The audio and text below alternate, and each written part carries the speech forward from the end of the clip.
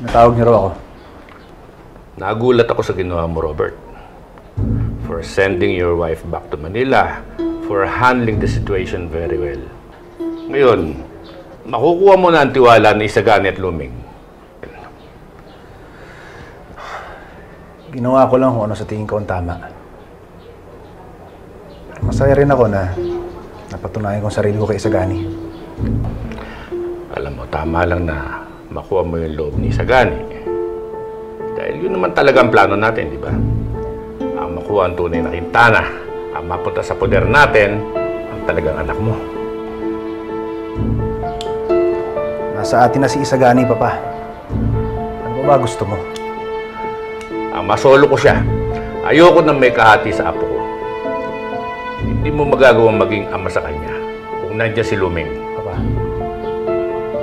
kang magpaplano ng masama kay Luming. Ako makakalaban mo. Magkakampi tayo. Tulungan mo kung makuha si Isagani kay Luming. Hindi.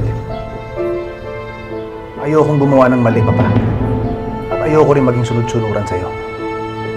Simula ngayon, ako na magdidesisyon para sa sarili ko.